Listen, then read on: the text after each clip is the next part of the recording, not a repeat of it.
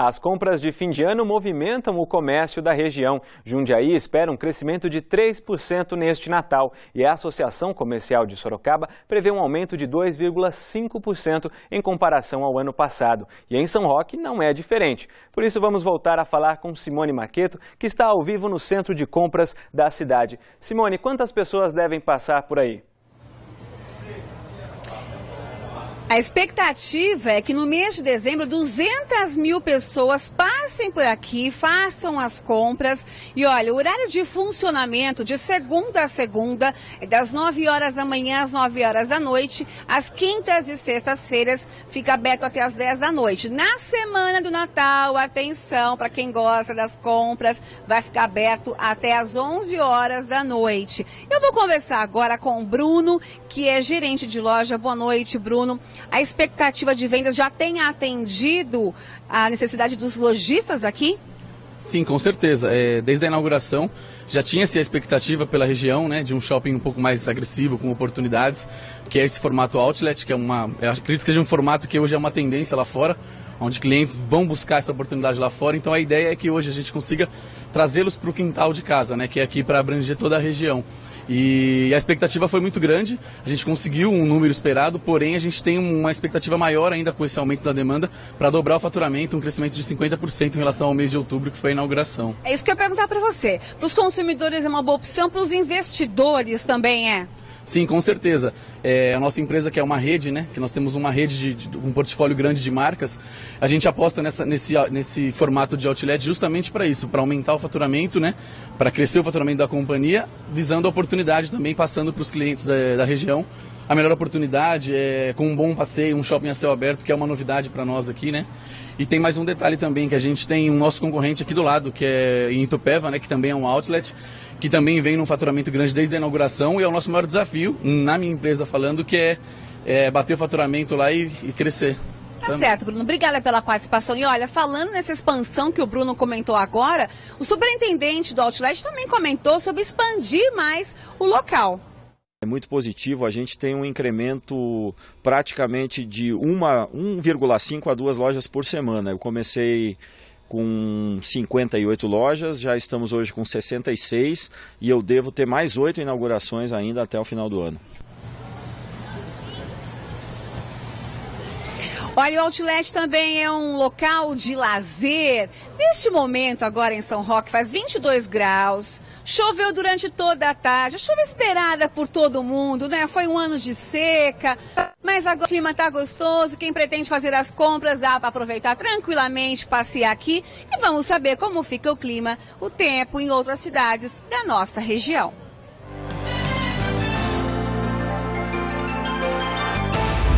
Em Itupeva, as temperaturas variam entre 22 e 30 graus. Em Porangaba, a mínima é de 20 e a máxima de 29. Mesma máxima prevista para Jundiaí. Em Itapetininga, a máxima é de 27 graus.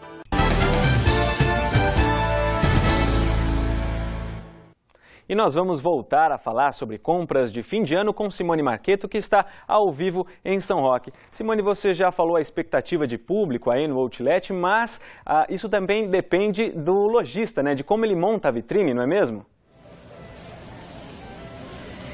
Com certeza. Olha, a vitrine é o melhor chamarisco para o consumidor. E para falar sobre isso, eu tenho um especialista ao meu lado, que é o Álvaro Andrade. Boa noite, Álvaro pessoal tem que caprichar na vitrine para chamar atenção. Totalmente. As pessoas têm que caprichar, têm que estar sempre inovando.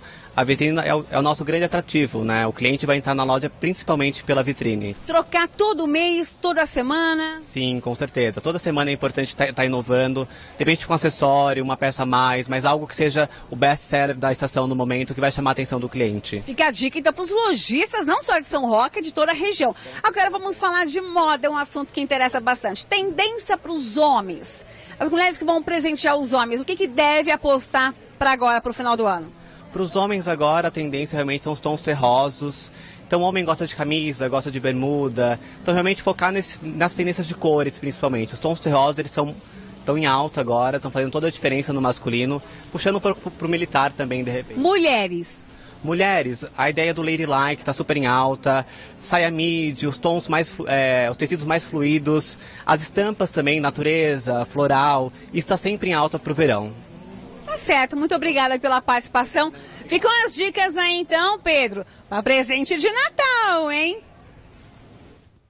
Tá certo, Simone, tá certo. Bom, e a Guarda Civil Municipal de Sorocaba completa 27 anos. Nessa semana vamos mostrar um pouco mais desta história que envolve cidadania, segurança e proteção. E hoje, na terceira reportagem, nós vamos ver que a equipe da GCM proporciona arte e cultura nas praças e escolas da cidade. Veja. O que tem dentro da base comunitária móvel da Guarda Civil Municipal? Provavelmente sua resposta não era essa, um camarim para teatro infantil. É aquele que os GMs se transformam em vários personagens para alegrar a criançada. Patati patatá, até Chaves e a Chiquinha. É a forma de mudar aos poucos a imagem da corporação. Você tem medo de guarda? Hum, mais ou menos. E da Chiquinha e do Chaves? Não, eu acho legal. O guarda é o amigo, é o que está mais próximo a ele. Então a criança não precisa ter medo. Ele é o companheiro, é aquele que vai te ajudar na hora de necessidade. Tem até cão guarda. O cachorro da raça Golden Retriever é de um GM. A Guarda de Sorocaba leva palestras e apresentações de teatro como esta em escolas públicas e municipais. E ainda vai até as praças, para a surpresa dos pais. Quem poderá me salvar?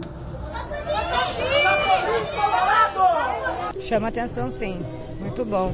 De um modo leve e descontraído, falam de segurança e de drogas. São vários pontos que nós trabalhamos de forma clara para eles, né? Sem estar tá fazendo aquela lição do beabá, mas uma coisa mais, mais infantil, né? Na linguagem que eles entendam. Esse tipo de prevenção atende a uma lei federal que determina as competências das guardas municipais. O texto foi aprovado e entrou em vigor esse ano. Só que a GCM de Sorocaba já realiza essas ações há muito tempo. O teatrinho, por exemplo, existe desde 1993. A Chiquinha, ou melhor, a Lice, participou das primeiras peças. Até hoje, desde o primeiro teatro que eu apresentei com o Manjinho, as crianças me conhecem. Nossa, é uma alegria que eu não sei explicar. Joelma é nova no Teatro da Guarda. Com 17 anos de GM, não esconde a alegria de atuar. É muito gratificante. E o, e o mais interessante é que no dia a dia eles me encontram de farda e sempre tem uma criança que me reconhece. Fala, ah, ela é a Emília. Galerinha, bate a mão e bate pé. Eu vou te contar, você vai ver como é que é. Alô, galerinha, bate a mão e bate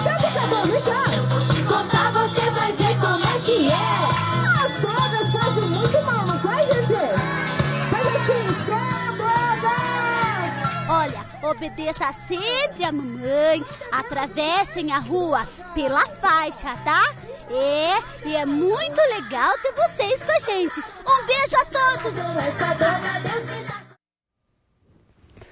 E o Noticidade termina aqui. Fique agora com o SBT Brasil. Uma boa noite para você. Tchau.